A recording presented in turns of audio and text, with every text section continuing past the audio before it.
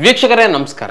ಮುಂದಿನ ಲೋಕಸಭಾ ಚುನಾವಣೆಯಿಂದ ಬಿಜೆಪಿ ಪಕ್ಷದ ಇನ್ನೊಂದು ಟಿಕೆಟ್ ನಿವೃತ್ತಿಯಾಗಿದೆ. ಅದೇ, ಮಾಜಿ ಮುಖ್ಯಮಂತ್ರಿ ಹಾಲಿ ಸಂಸದ ಡಿ ವಿ ಸದಾನಂದಗೌಡ. ಸದಾನಂದಗೌಡರ ಚುನಾವಣಾ ನಿವೃತ್ತಿಯ ಹಿಂದೆ ಈ ಸಂದರ್ಭದಲ್ಲಿ ಕಾಡ್ತಿರೋ ಪ್ರಶ್ನೆ ಏನಂದ್ರೆ, ಇದು ಸದಾನಂದಗೌಡರ ಸ್ವಯಂ ನಿವೃತ್ತಿಯೋ ಅಥವಾ ಹೈಕಮಾಂಡ್ ಆದೇಶವೋ?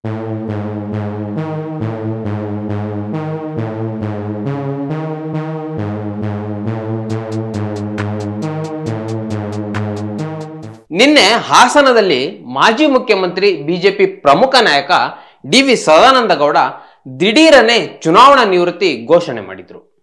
ಅದಕ್ಕೂ ಮುನ್ನ ಬಿಜೆಪಿ ಪಕ್ಷದಲ್ಲಿ ಬಹಳ ಆಸಕ್ತಿ ಇಟ್ಟು ಕೆಲಸ ಮಾಡೋ ಉತ್ಸುಕತೆ ತೋರಿಸಿದ್ರು ಸದಾನಂದಗೌಡ. ಆದ್ರೆ ಇದ್ದಕ್ಕಿದ್ದಂತೆ ಸದಾನಂದ ಗೌಡನ ಈ ನಿರ್ಧಾರ ತಳೆದದ್ದು ಹತ್ತಾರು ಪ್ರಶ್ನೆ ಹುಟ್ಟಾಕುವಂತೆ ಮಾಡಿದೆ. ಆದ್ರೆ ಈ ನಿವೃತ್ತಿಯ ಹಿಂದೆ ಹೈಕಮಾಂಡ್ ಆದೇಶ ಇದೆ ಅಂತ ಮಾಜಿ ಮುಖ್ಯಮಂತ್ರಿ ಬಿ ಎಸ್ ಯಡಿಯೂರಪ್ಪ ಈಗ ಬಾಯ್ಬಿಟ್ಟಿದ್ದಾರೆ. ಇಂದು ಸುದ್ದಿಗಾರರೊಂದಿಗೆ ಮಾತನಾಡಿದ ಯಡಿಯೂರಪ್ಪ, ಪಕ್ಷದ ನಾಯಕರ ನಿರ್ದೇಶನದಂತೆ ಸದಾನಂದಗೌಡರು ಚುನಾವಣಾ ರಾಜಕೀಯದಿಂದ ನಿವೃತ್ತಿ ಘೋಷಿಸಿದ್ದಾರೆ. ಅವರು ಪಕ್ಷದ ಇತರ ಚಟುವಟಿಕೆಗಳಲ್ಲಿ ತಮ್ಮನ್ನು ತೊಡಗಿಸಿಕೊಳ್ಳಲಿದ್ದಾರೆ ಅಂತ ಹೇಳಿದ್ದಾರೆ. ನಿನ್ನೆವರೆಗೂ ಸ್ವಯಂ ನಿವೃತ್ತಿ ಅಂತಲೇ ಸುದ್ದಿಯಾಗಿದ್ದು, ಈಗ ಹೈಕಮಾಂಡ್ ನಿರ್ದೇಶನ ಅನ್ನೋ ವಿಚಾರ ರಾಜಕೀಯ ವಲಯದಲ್ಲಿ ತೀವ್ರ ಚರ್ಚೆಗೆ ಗ್ರಾಸವಾಗಿದೆ. ಯಾಕಂದ್ರೆ ಇತ್ತೀಚೆಗೆ ಬಿಜೆಪಿ ಹೈಕಮಾಂಡ್ ತೆಗೆದುಕೊಂಡ ಕೆಲವು ನಿರ್ಧಾರಗಳ ಬಗ್ಗೆ ಬಹಿರಂಗವಾಗಿಯೇ ಸದಾನಂದ ಗೌಡರು ಅಸಮಾಧಾನ ಹೊರಹಾಕಿದ್ರು. ಅದರಲ್ಲಿ ಮುಖ್ಯವಾದದ್ದು ಜೆಡಿಎಸ್ ಜೊತೆಗಿನ ಮೈತ್ರಿ. ರಾಜಕೀಯ ಮತ್ತು ಸೈದ್ಧಾಂತಿಕವಾಗಿ ಹಿಂದಿನಿಂದಲೂ ವಿರೋಧಿಸಿಕೊಂಡು ಬಂದ ಪಕ್ಷದ ಜೊತೆಗೆ ದೋಸ್ತಿ ಮಾಡಿಕೊಳ್ಳೋ ಬಗ್ಗೆ ನನ್ನ ಸಹಮತ ಇಲ್ಲ ಅನ್ನೋದನ್ನ ಸದಾನಂದ ಗೌಡರು ಈ ಹಿಂದೆಯೇ ಹೇಳಿಕೊಂಡಿದ್ದಾರೆ. ಸದಾನಂದ ಗೌಡರು ಮುಖ್ಯಮಂತ್ರಿ ಅಷ್ಟೇ ಅಲ್ಲ, ಈ ಹಿಂದೆ ಕೇಂದ್ರ ಸರ್ಕಾರದಲ್ಲೂ ಮಂತ್ರಿಯಾಗಿ ಕೆಲಸ ಮಾಡಿದ್ರು. ರೈಲ್ವೆ ಸಚಿವರಾಗಿ ಕೆಲಸ ಮಾಡಿದ ಸದಾನಂದ ಗೌಡರನ್ನ ಈ ಅವಧಿಯಲ್ಲಿ ಹೈಕಮಾಂಡ್ ಸಂಪೂರ್ಣ ನಿರ್ಲಕ್ಷ್ಯ ಮಾಡಿತ್ತು. ನಿಜ ಹೇಳ್ಬೇಕಂದ್ರೆ ರಾಜ್ಯ ವಿಧಾನಸಭಾ ಚುನಾವಣೆ ನಂತರ ದಿಕ್ಕು ದೆಸೆ ಇಲ್ಲದಂತಿರೋ ಬಿಜೆಪಿ ಪಕ್ಷವನ್ನ ಮೇಲೆತ್ತಲು ತನ್ನದೇ ಆದ ಯೋಜನೆ ಇಟ್ಕೊಂಡಿದ್ರು ಸದಾನಂದ ಗೌಡರು.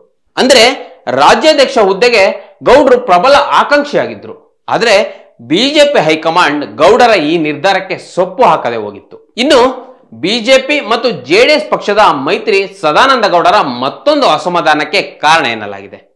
ಹಾಲಿ ಸದಾನಂದ ಗೌಡರು ಸಂಸದರಾಗಿರುವ ಬೆಂಗಳೂರು ಉತ್ತರ ಕ್ಷೇತ್ರದಲ್ಲಿ ಮೈತ್ರಿಯ ದೆಸೆಯಿಂದ ಗೌಡರಿಗೆ ಟಿಕೆಟ್ ತಪ್ಪಲಿದೆ ಅನ್ನೋ ಮಾತುಗಳು ಶುರುವಾಗಿದ್ವು.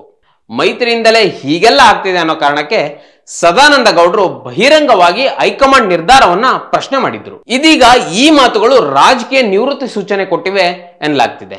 ಅಷ್ಟೇ ಅಲ್ಲದೆ ರಾಜ್ಯ ನಾಯಕರ ಜೊತೆಗೆ ಏನೆಂದೂ ಚರ್ಚೆ ಮಾಡದೆ ಜೆಡಿಎಸ್ ಜೊತೆಗೆ ಮೈತ್ರಿ ಮಾಡಿಕೊಂಡಿದ್ದು ಸಹ ಈ ಅಸಮಾಧಾನದ ಮುಖ್ಯ ಅಂಶ ಎನ್ನಲಾಗ್ತಿದೆ. ಇಂತಹ ವಿಚಾರಗಳಲ್ಲಿ ಸದಾನಂದ ಗೌಡ ಬಹಿರಂಗವಾಗಿ ಅಸಮಾಧಾನ ಹೊರಹಾಕಿದ್ದ ಬೆನ್ನಲ್ಲೇ ಬಿಜೆಪಿ ರಾಷ್ಟ್ರೀಯ ಅಧ್ಯಕ್ಷ ಜೆ ಪಿ ನಡ್ಡಾ ದೆಹಲಿಗೆ ಬರುವಂತೆ ಸದಾನಂದ ಗೌಡರಿಗೆ ಕರೆ ಕೊಟ್ಟಿದ್ರು. ಕಳೆದ ತಿಂಗಳು ದಸರಾ ಸಂದರ್ಭದಲ್ಲಿ ದೆಹಲಿಗೆ ತೆರಳಿದ್ದ ಗೌಡ್ರು ಭೇಟಿ ಮಾಡಿದ ನಡ್ಡಾ ಈಗ ಕೆಲಸದ ಒತ್ತಡ ಇದೆ. ವಾಪಸ್ ಹೋಗಿ ಎನ್ನುವ ಮೂಲಕ ಒಂದು ರೀತಿಯಲ್ಲಿ ಅವಮಾನವನ್ನೇ ಮಾಡಿ ಕಳಿಸಿದ್ರು.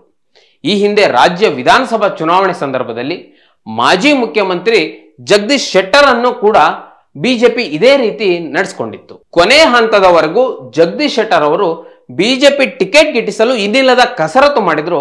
ಆದರೆ ಬಿಜೆಪಿ ಹೈಕಮಾಂಡ್ ಜಗದೀಶ್ ಶೆಟ್ಟರ್ನ ಕಳ್ಕೊಳ್ಳಕ್ಕೆ ರೆಡಿ ಇತ್ತೆ ಹೊರತು ತನ್ನ ನಿರ್ಧಾರ ಹಿಂದಕ್ಕೆ ಹಾಕೋ ಯೋಚನೆಯನ್ನು ಸಹ ಮಾಡಲಿಲ್ಲ. ಕೊನೆಗೆ ಏನಾಯ್ತು?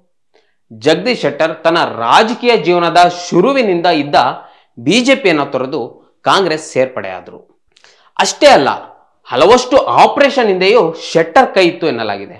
ಸದ್ಯ ಇದೇ ಹಾದಿಯಲ್ಲಿ ಸದಾನಂದ ಗೌಡ ಹೆಜ್ಜೆ ಇಟ್ಟಿರಬಹುದು ಎಂಬ ಲೆಕ್ಕಾಚಾರ ಕರ್ನಾಟಕ ರಾಜಕೀಯ ವಲಯದಲ್ಲಿ ದಟ್ಟವಾಗಿದೆ.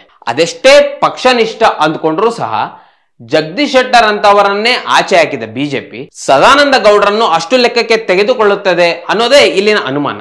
ಇದರ ಮುನ್ಸೂಚನೆ ಸದಾನಂದ ಗೌಡರಿಗೆ ಇತ್ತೋ ಏನೋ.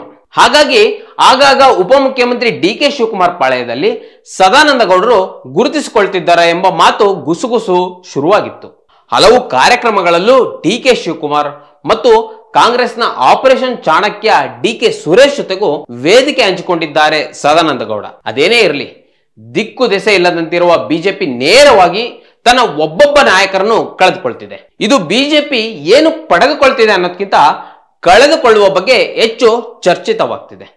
ಸದಾನಂದ ಗೌಡರ ಬಿಜೆಪಿ ಮೇಲಿನ ಬಹಿರಂಗ ಅಸಮಾಧಾನದಂದೆ ಅವರು ಒಂದು ಕಾಲು ಬಿಜೆಪಿಯಿಂದ ಆಚೆ ಬರಬಹುದು ಎನ್ನಲಾಗಿತ್ತು. ಕೊನೆಗೂ ಮಾಜಿ ಮುಖ್ಯಮಂತ್ರಿ ಜಗದೀಶ್ ಶೆಟ್ಟರ್ ಹಾದಿಯಲ್ಲೇ ಇನ್ನೊಬ್ಬ ಮಾಜಿ ಮುಖ್ಯಮಂತ್ರಿ ಹೆಜ್ಜೆ ಇಡ್ತಾರಾ ಅನ್ನೋ ಅನುಮಾನ ಈಗ ದಟ್ಟವಾಗಿದೆ. ಬಿಜೆಪಿ ಪಕ್ಷ ಇತ್ತೀಚೆಗೆ ಏನೇನೋ ನಿರ್ಧಾರಕ್ಕೆ ಕೈ ಹಾಕಿತ್ತೋ ಅದು ಅವರಿಗೆ ಉಲ್ಟಾ ಆಗ್ತಿದೆ.